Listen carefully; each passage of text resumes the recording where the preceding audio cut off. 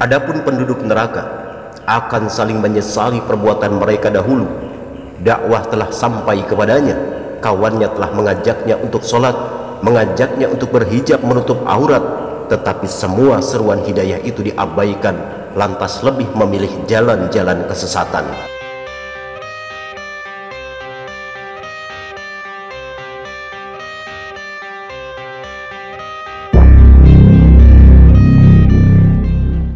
Assalamualaikum warahmatullahi wabarakatuh. Alhamdulillahi Wassalatu wassalamu ala asrafil anbiya wal mursalin Wa ala alihi wa sahbihi ajma'in. Amma ba'du. Saudara-saudaraku sahabat penyiar Islam Channel yang dirahmati Allah subhanahu wa ta'ala. Siksa neraka adalah siksaan yang sangat pedih dan tidak bisa dibayangkan ngerinya. Siksaan fisik hanyalah sebagian kecil dari bentuk dan azab siksa neraka bagi penghuninya Selain itu, mereka akan merasakan azab lain yang tidak kalah dahsyatnya, yaitu azab siksaan batin. Di antara bentuknya dengan menyaksikan penghuni surga dengan kenikmatannya. Saudara-saudaraku sahabat penyiar Islam Channel yang dirahmati Allah Subhanahu wa taala. Banyak orang ketika sedang ditimpa penderitaan, dia akan semakin tersiksa ketika melihat orang lain yang justru dalam kenikmatan yang dinamakan dengan hasad Demikianlah perasaan penduduk neraka semakin tersiksa ketika melihat penduduk surga sedang makan dan minum sementara mereka kehausan dan kelaparan. Allah Subhanahu wa taala berfirman, "Wa nada ashabun nar ashabal jannati an afidu alaina minal ma'i aw mimma razaqakumullah." Qalu innallaha harramahuma 'alal kafirin dan penghuni neraka menyeru penghuni surga limpahkanlah kepada kami sedikit air atau makanan yang telah direzekikan Allah kepadamu. Mereka penghuni surga menjawab sesungguhnya Allah telah mengharamkan keduanya itu atas orang-orang kafir. Quran Surat Al-A'raf ayat 50 sebaliknya penduduk surga akan semakin bersyukur menyaksikan itu karena mereka telah dihindarkan dari azab yang begitu pedih di neraka lalu diberikan kenikmatan yang berlimpah di surga. Sahabat yang dulu saling mengajak kepada kebaikan akan berkumpul kembali, reuni saling bernostalgia. Berterima kasih telah mengajaknya untuk mendatangi majelis taklim, mengajaknya memakai hijab, mengajaknya untuk berhijrah. Adapun penduduk neraka akan saling menyesali perbuatan mereka dahulu. Dakwah telah sampai kepadanya, kawannya telah mengajaknya untuk sholat, mengajaknya untuk berhijab menutup aurat tetapi semua seruan hidayah itu diabaikan lantas lebih memilih jalan-jalan kesesatan. Allah subhanahu wa ta'ala berfirman wa law kunna nasma'u aw na'qilu ma kunna fi ashabis sa'ir. Dan mereka berkata sekiranya kami mendengarkan atau memikirkan peringatan itu niscaya tidaklah kami termasuk penghuni-penghuni neraka yang menyala-nyala. Quran Surat Al-Mulk ayat 10 wa yawma ya'uddu zalimu ala yadayhi yaqulu ya laitani ittakhadtu ma'ar rasuli sabila. Ya wailata laitani lam attakhad fulanan khalila. Wa laqad adallani 'anil dhikri ba'da idh ja'ani wa kana syaitanu lil insani khadula. Dan ingatlah hari ketika itu orang zalim menggigit dua tangannya yaitu sangat menyesali. Seraya berkata aduhai kiranya dahulu aku mengambil jalan bersama-sama Rasul. Kecelakaan besarlah bagiku. Kiranya aku dulu tidak menjadikan si fulan itu teman akrabku. Sesungguhnya dia menyesatkan aku dari Al-Quran ketika Al-Quran itu telah datang kepadaku. Dan adalah setan itu tidak mau menolong manusia. Quran Surat Al-Furqan ayat 27 sampai 29 Saudara-saudaraku sahabat penyiar Islam Channel yang dirahmati Allah Subhanahu wa taala. Allah Subhanahu wa taala memerintahkan hamba-hambanya agar bertakwa. Karena takwa inilah satu-satunya bekal yang dapat kita andalkan dalam meraih ridha Allah Subhanahu wa taala dalam kehidupan di dunia dan di akhirat kelak. Allah Subhanahu wa taala berfirman, "Wa tazawwadu fa inna khairaz zadi taqwa." Berbekalah karena sebaik-baik bekal adalah takwa. Quran surat Al-Baqarah ayat 197. Tujuan tertinggi dari takwa adalah menggapai ridhonya Allah Subhanahu wa taala. Jika Allah Subhanahu wa taala telah meridhai kita, tentu di akhirat kelak api neraka tidak akan menyentuh dan membakar kulit kita. Kelak tempat kita adalah surga. Untuk menyelamatkan kita dari api neraka ini, ada tiga perkara yang menjadi kuncinya. Perkara-perkara apa saja? Dirangkum dari berbagai sumber Berikut perkara-perkara yang bisa menyelamatkan kita dari api neraka. Pertama, kalimat tauhid. Tauhid adalah kunci awal dalam meraih ridho Allah Subhanahu wa taala, sekaligus pembuka seluruh pintu kebaikan. Dalilnya tercantum dalam hadis yang diriwayatkan oleh Imam Muslim.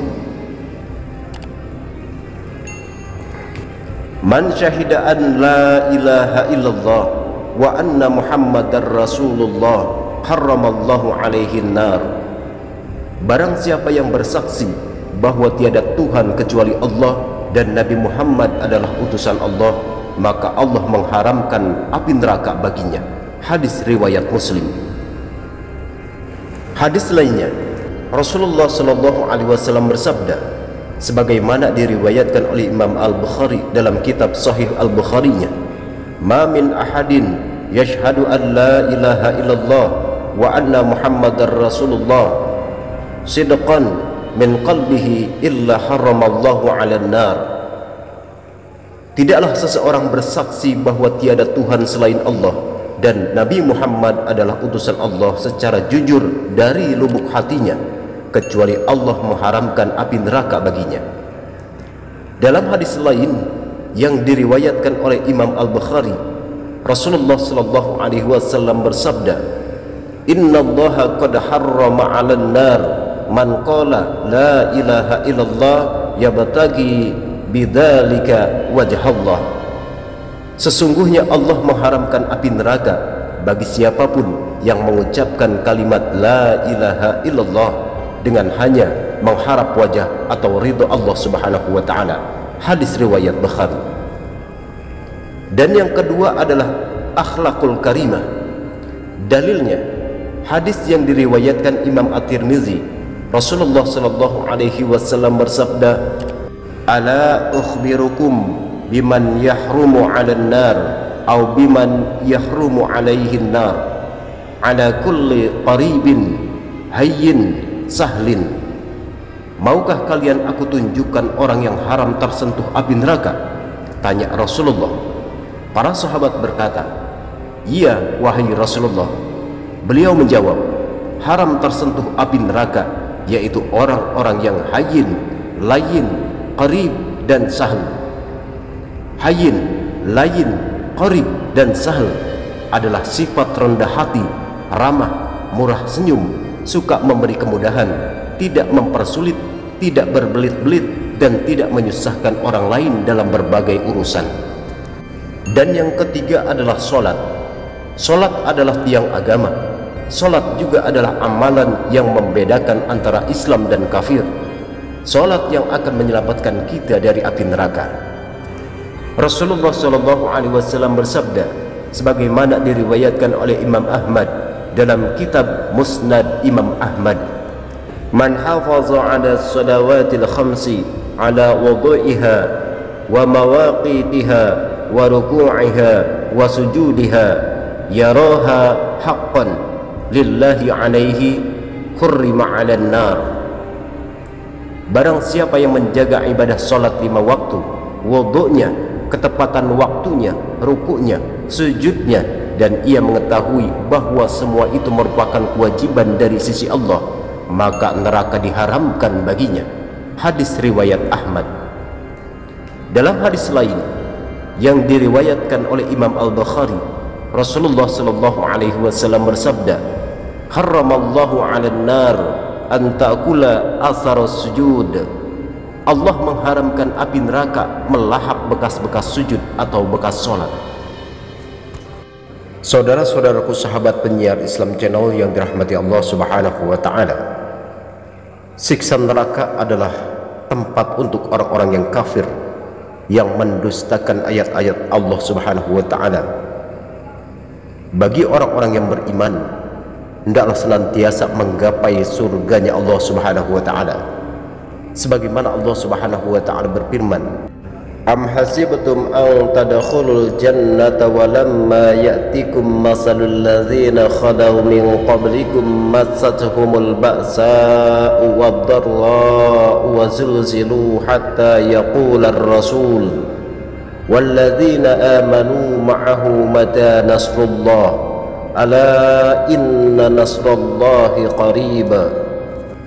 Ataukah kamu mengira bahwa kamu akan masuk surga? Padahal belum datang kepadamu cobaan seperti yang dialami orang-orang terdahulu sebelum kamu. Mereka ditimpa kemelaratan, penderitaan, dan diguncang dengan berbagai cobaan. Sehingga Rasul dan orang-orang yang beriman bersamanya berkata, Kapankah datang pertolongan Allah? Ingatlah, sesungguhnya pertolongan Allah itu dekat. Quran Surat Al-Baqarah ayat 214 Saudara-saudaraku sahabat penyiar Islam Channel yang dirahmati Allah Subhanahu wa taala. Ayat ini menurut Buya Hamka telah memberikan pedoman kepada orang beriman bahwasanya untuk mencapai surga, tempat yang amat bahagia dan mulia itu, hendaklah setiap orang berani menerima kesusahan dan penderitaan. Bahkan berani diguncangkan, digempakan sehingga tidak ada waktu buat bersenang-senang atau santai berdiam diri. Dalam ayat ini dikatakan bahwa saking hebatnya kesusahan dan penderitaan, bahkan keguncangan, sampai orang-orang yang beriman bertanya, bahkan Rasul sendiri, kapan pertolongan Allah akan datang? Mengapa tidak datang juga pertolongan itu? Yang bertanya demikian adalah Rasul sendiri dan orang-orang yang beriman yang mengikuti beliau. Rasul dan orang-orang beriman bertanya, bilakah pertolongan Allah datang? Dijelaskan juga penderitaan Nabi Nuh, Nabi Ibrahim, Nabi Musa. Misalnya, Nabi Ibrahim yang dikaruniai putra bernama Ismail ketika berumur 80 tahun dan diberi anak kedua Ishak ketika berumur 100 tahun hingga pernah dibakar berbagai cara ujian yang didatangkan kepadanya namun semua dapat dijalani dengan kesabaran dan ketaatan Seseorang yang ingin menggapai surganya Allah Subhanahu wa taala tentunya dipenuhi dengan perjuangan-perjuangan dan ujian yang akan dihadapi. Kuatkah kita menghadapi ujian dari Allah Subhanahu wa taala? Ketika kita kuat menghadapi ujian yang diberikan Allah Subhanahu wa taala dengan penuh kesabaran dan tetap bertawakal kepada Allah Subhanahu wa taala, maka surga menanti kita. Saudara-saudaraku sahabat penyiar Islam Channel yang dirahmati Allah Subhanahu wa taala. Tetapi bagi orang-orang yang menggunakan kehidupan dunia ini hanya untuk bersenang-senang, jauh dari Allah Subhanahu wa taala, bermaksiat kepada Allah Subhanahu wa taala, maka neraka menantinya. Semoga Allah Subhanahu wa taala senantiasa memberikan taufik hidayah inayah kepada kita semuanya di dalam menjalani kehidupan dunia yang singkat ini. Amin amin ya Allah ya rabbal alamin. Wallahu a'lam. Wassalamualaikum warahmatullahi wabarakatuh.